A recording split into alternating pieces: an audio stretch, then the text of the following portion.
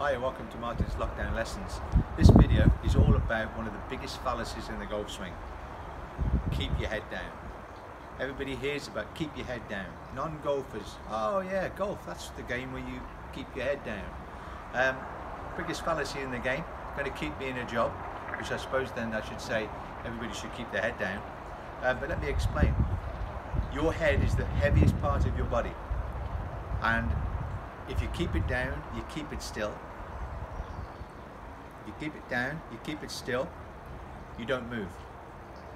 If you've ever been unfortunate enough to wear a surgical collar, you know the one, by neck injury, you have it around your head, neck here. Have you ever seen anybody and you see them and you see them on the street, you say, hey Bob, how are you doing? And they kind of struggle to move. Yeah, because trying to keep their head still so they don't do any damage. If that was any good, the surgical collar would be a really useful part of golf coaching. We don't have one of those because we know as golf coaches it's not a good uh, a good definition of what a golf swing is all about. So then you'll see these guys on the driving range. Poor guy on the driving range has just read a book or his mate has told him that, uh, hey Bob, you lifted your head, keep your head down. The reason why you hit that bad shot is you lifted your head. Okay? Let me explain. Let me show you a golf swing with keeping your head down.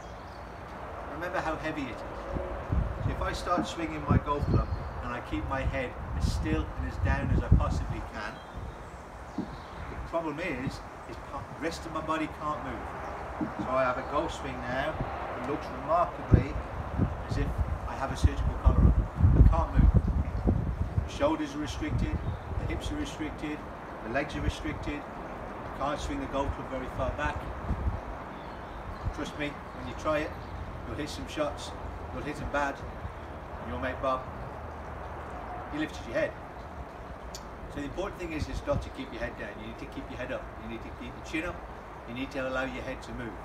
Watch some of the best players. Slow motion, even the, the likes of Jack Nicklaus, Tiger Woods, when they swing the golf club backwards and forwards, trust me, their head is moving. And only when the head is moving can everything else of you then start to work. Your shoulders, your back, your hips, your legs, your arms, every part of your body creates a lot more freedom as we start swinging backwards and forwards. Now don't get me wrong, keeping your head down is something we don't like. Watching the ball, very important. And there's a big difference. You watch your ball with your eyes, you don't have to keep your head still to watch the golf ball with your eyes. Once you've hit it, Where's it gone? Turn your head. Enjoy the shot. At least you'll know when to walk. Hope that makes a lot of sense. Don't keep your head down. See you again soon. Stay safe.